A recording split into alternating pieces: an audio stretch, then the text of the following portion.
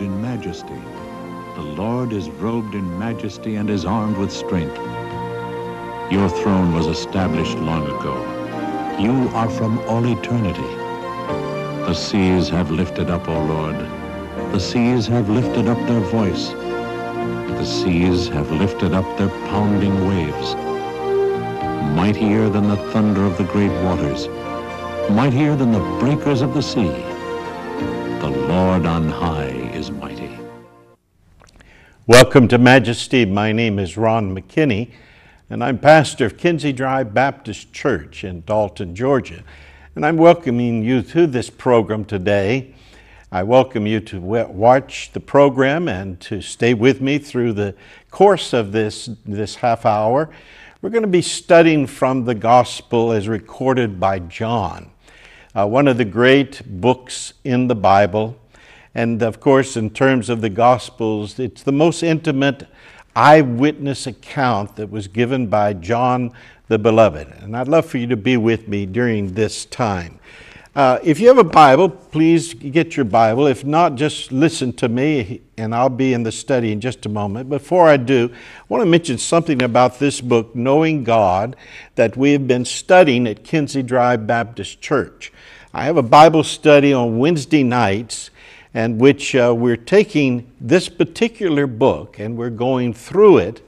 And uh, we have a number of people that are studying with us. And uh, I'd like to invite you to come and join us. It's on Wednesday nights at 6 p.m. And now that the time has been changed and we have daylight savings time, you can get there. And still, when we finish, you have plenty of time to get home and uh, do whatever you need to do. But I'd love to invite you to come to the study. It's been very profitable. And one of the things that is so important, I think, in studying something of this nature, this particular work uh, was written by a man by the name of J.I. Packer. He's a well known evangelical leader. He actually was uh, a man who, whom I had met on several occasions in the past, and I've heard him speak.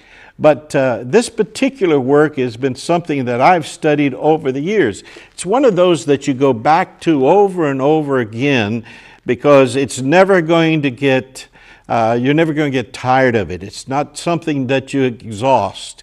You're going to find more and more as he speaks about the glory of who God is.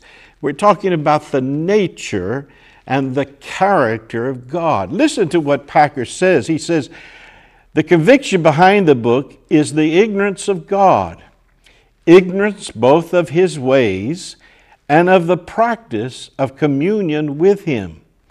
It lies at the root of much of the church's weakness today. Two unhappy trends seem to have produced the state of affairs. That is, that men have become more conformed to our modern uh, spirit and ideas rather than the Word of God itself. I'm going to tell you that this particular book will be of great help to you. If you would be interested in joining us, please uh, either write me or call me, uh, either one, or you can just show up on Wednesday night. We're meeting together in the fellowship hall of Kinsey Drive Baptist Church. Well, today we're going to turn to the 17th chapter of the book of our gospel as recorded by John. Please turn with me there if you have your Bible. If not, just listen as I read to you. We started this last week in the study that we had, and we remember that this was a prayer in which our Lord was praying. His disciples were present because they could hear him. In other words, he was praying audibly, and he was praying to his Father in heaven, and it was the, the the disciples were able to record exactly what he said. As I've said before, it's, it's one of those things that we have a rare, rare opportunity to see here the Godhead, the Father and the Son in communion, in fellowship, and the Son of God, Jesus Christ, as he is speaking to his heavenly Father. He said, These words spake Jesus and lifted up his eyes to heaven and said, Father, the hour is come. Glorify thy Son, that thy Son also may glorify thee. There are several times prior to this in the book of John where Jesus has said, The hour has not come. It is not the hour. Several, five or six times we find those words. And yet here he says, The hour is come. Now, Jesus is anticipating what is going to take place. We have here and of course, we have him in prayer here, but we know that what is coming, he will be taken. And of course, he will be taken and he would be judged in a puppet court where he's condemned to die. He also is taken, as you remember, he goes into the Garden of Gethsemane to pray. And then uh, we see he's taken there in, and they take him to judge him. And now he's going to be beaten and he's going to uh, be taken from there to the, to the hill of Golgotha, there to be executed on the cross. And all of this taking place, and he's anticipating it, and he says, The hour is come. It is time. This is the Father's timing, and He knows that this is going to be when He will be offered up as an offering unto God.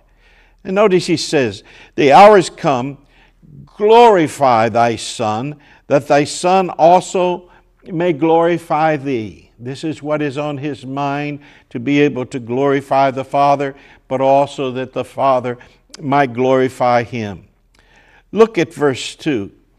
As thou hast given him power over all flesh, that he should give eternal life to as many as thou hast given him. Now, notice here that it's very particular what, what Jesus is speaking of here. He's speaking of this, this power that has been given over all flesh, that he should give eternal life to as many as thou hast given him. Now, notice the prayer that Jesus has here. He says, Father, there are some that you have given to me now, he doesn't say that all have been given to him, but he says, as many has, has been given to me, that is to him. These are the ones that you remember in John chapter 6. We have the words when Jesus says, All that the Father hath given me shall come to me, and him that cometh to me I will in no wise cast out. There's something particular about that.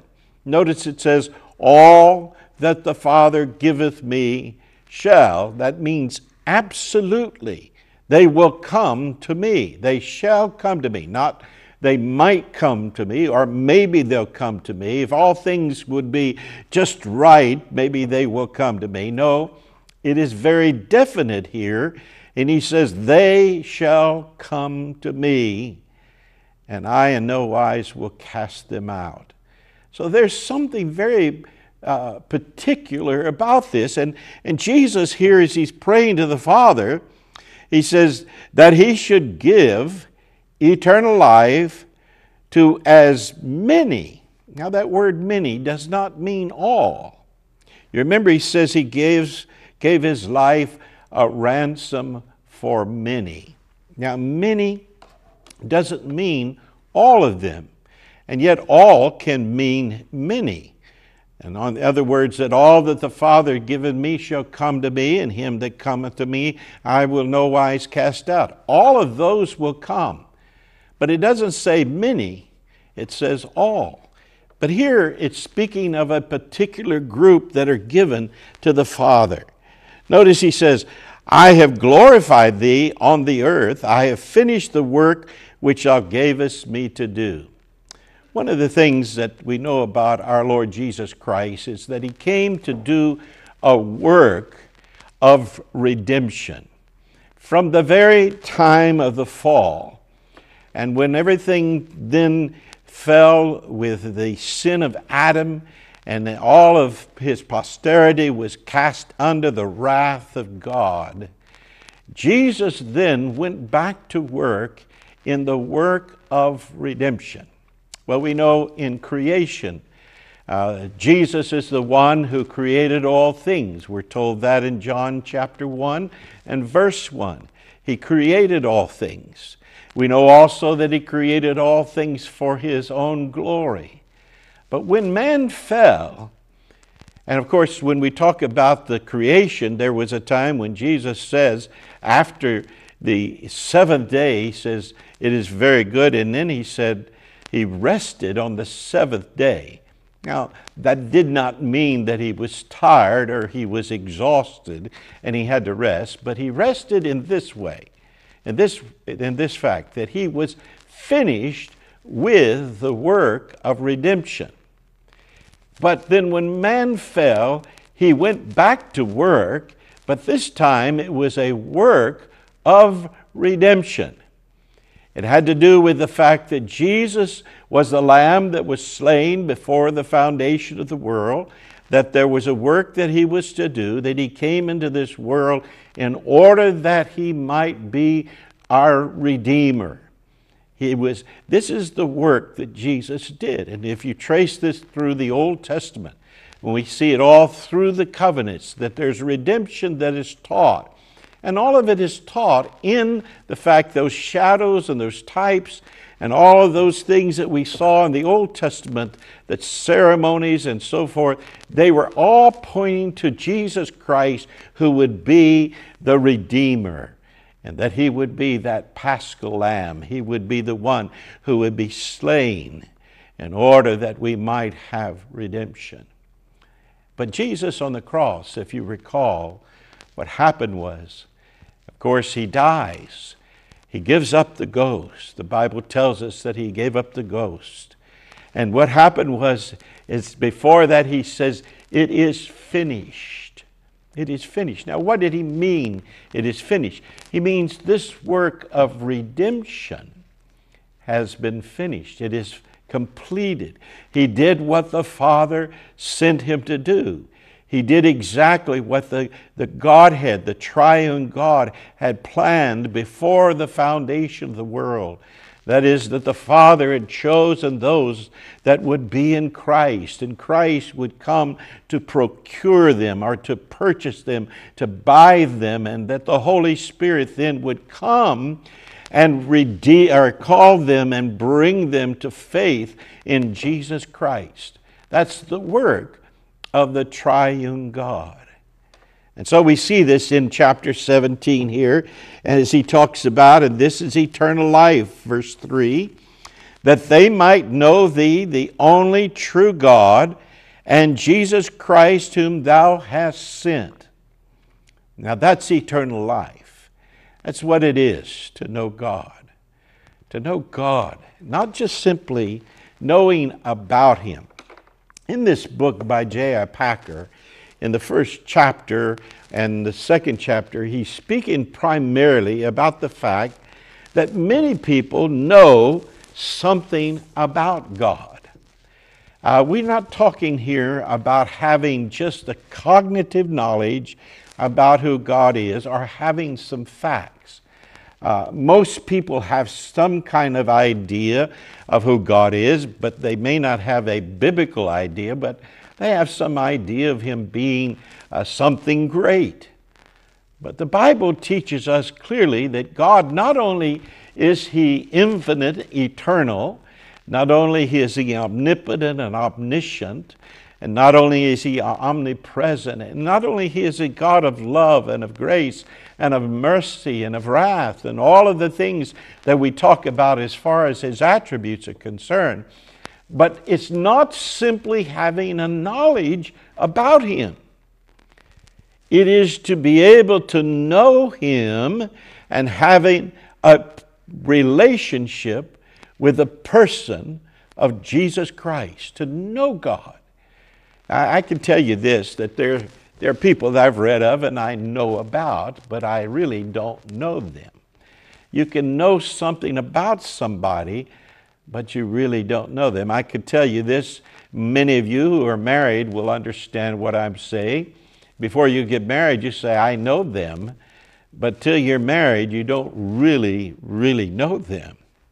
I was confessing the other night to some folks that I said, before I was married, I thought I, I knew something of what it was to be a loving husband. But after I married, I realized that I had a lot of shortcomings. I began to see a lot of my own selfishness and the fact that I was far more self centered than I ever had thought before. And I learned something about myself. I came to know more about myself. And it's true of individuals. And I tell you, I know my wife, but I tell you, I know her better after being married to her for 40 years. And the one thing that I can say is, I know her in such a way that I would marry her all over again. And I'm going to tell you this I would marry her for thousands of other reasons than I did the first time that I married her, because now I know her. So there's a difference between knowing about somebody or hearing about somebody and actually having a relationship with them and knowing them. The Bible is speaking here of a knowledge of knowing God. Now, some of you say, well, that seems strange to me. I've never had that. I don't know what that is. Well, my question to you have you not come to see Jesus Christ in all of His glory and all of His beauty, and you've embraced Him? You've confessed your sins. You've seen yourself as being lost and undone and without God, that you are in need of a Redeemer and a Savior, that you need Jesus Christ.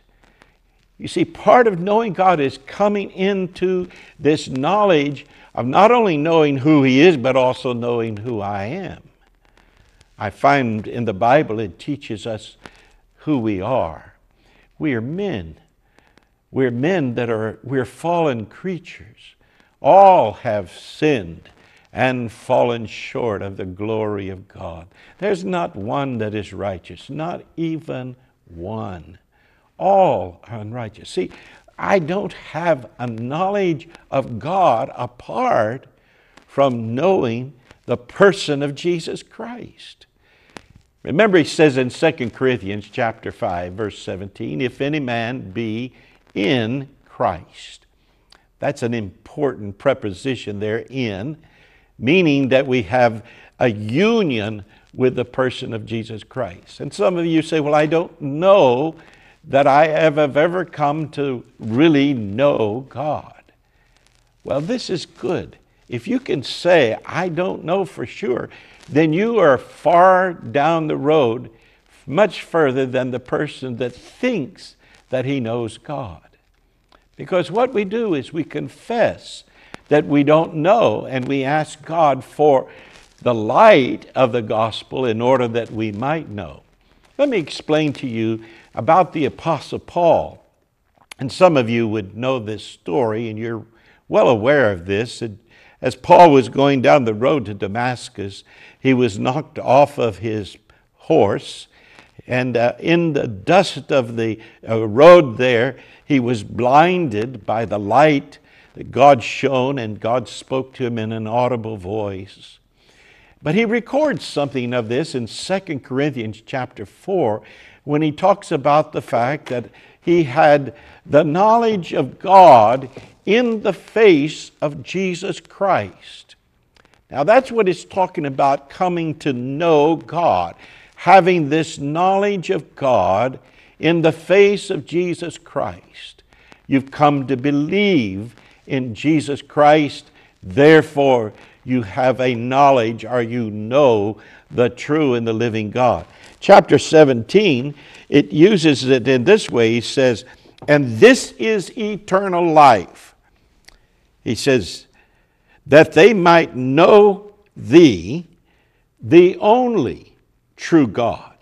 Oh, my friend, we have to designate here it's exclusive. There's something that is exclusive here. There are not many gods. There are not many ways that you can come to God.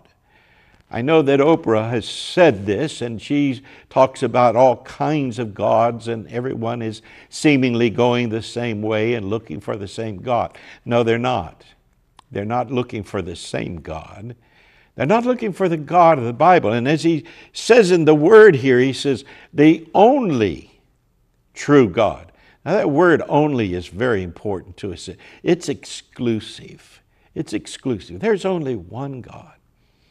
When we speak of God, we speak of Him in terms of His nature, of His perfections. God is transcendent. God is almighty. He is powerful. The Bible tells us in Daniel chapter 4, he does among the armies of heaven and among the inhabitants of earth. He does all things, he works all things well after the counsel of his will. So, what we know here is there is only one true God. Now he says, and Jesus Christ. Now, how important is it that we know who Jesus is? Well, I tell you, it's the matter of life and death. It has to do with eternal life. To know Jesus Christ. He says, believe on Him, believe on the Lord Jesus Christ, and thou shalt be saved. Now, I know this is very familiar. People hear it all the time, but it doesn't mean by that just simply naming the name of Jesus Christ. How do I know that? Well, John mentions that in another chapter here, where he says, there he says, Not everyone that says, Lord, Lord, shall enter into the kingdom of heaven, but he that practices the will of my heavenly Father. What I'm telling you is to know God distinguishes you from those that simply know about God. I don't care how much theological education you might have or how much you might have read, even of some of the great theologians. I don't care how uh, well read you are about who God is. The point is, is that you must know Him. I can tell you, I've met people that did not have much of what I would call theological education at all, and yet they knew the living God. I'll tell you about a lady that I knew when I first came here to Dalton, Georgia. Uh, Miss Dixie is her name. Uh, I, I, she lived next door to the church where I pastor, and she would come over and she, was, she would clean the church. She was well up into her late 70s when I first met her, and she lived another probably 10 years. And uh, I would see her all the time, and she would come over, and we would spend time talking. I enjoyed my time with Miss Dixie. I tell you what, she was just a precious person in my sight. And what we did was we would talk about the things of God. I'd sit there and I would talk to her about something or what I was studying or preaching on, and she would tell me something about what had happened in her life and how God worked in her life. She took in children and she would care for children, and many times she would take in children who had special needs, and she would teach them, and she would love on them, and she would just uh, she was just a wonderful person. But in terms of ev- education, I remember she said, "I only finished the third grade." Well, she said, you know, I, I can read and I can read the Bible, and I, that's where I got all of the things that I understand about God. It's been from the Bible. I'm going to tell you what, I can testify that that woman knew God. She not only knew about God, she knew God in a personal way. She knew the person of Jesus Christ. She loved Jesus Christ with all of her being. That's what I'm talking about here in a very practical way. That he says to us, This is eternal life. How is it? That we know the true, the only true God, and Jesus Christ, whom he has sent. Think of it, my friend, that Jesus Christ was sent by the Father into this world into this world of dependency. He came into this world in order that he might live as a man to be identified with us. He was the God man. He came and he suffered through all of the things that you and I suffer. In fact, it says that he was tempted in all ways, such as we are tempted. Oh, my friend, Jesus has gone before us. He knows, He understands, and He did all of that without sin in order that He might provide for us a righteousness that we don't have of our own. And Jesus came into this world in order that He might purchase us.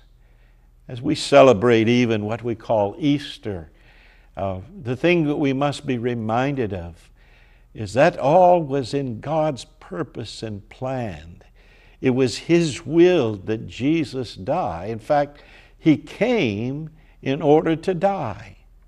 He knew all of this. This was in the plan that was made even before the foundation of the world that He would be the Redeemer and that He would purchase us not with silver and gold, but by his precious blood. Have you ever sat down and really contemplated what it was that Jesus did? He died in your place, a substitute. Do you believe in him? Do you trust in him? Let's pray. Heavenly Father, we thank you for the privilege of bringing the gospel of Jesus Christ to our hearers. I pray, Lord, that you would speak to some even now. In Jesus' name, amen. I want to remind you about the book here, Knowing God by J.I. Packer. We're studying on Wednesday nights at 6 p.m. If you like to join us, just simply come and be with us, or you can call me. The numbers there 706 277 3505 if you'd like to write me you can write me at Kinsey Drive, uh, Dalton, Georgia 30720. Until next week at the same time and on this same station, may God richly bless you.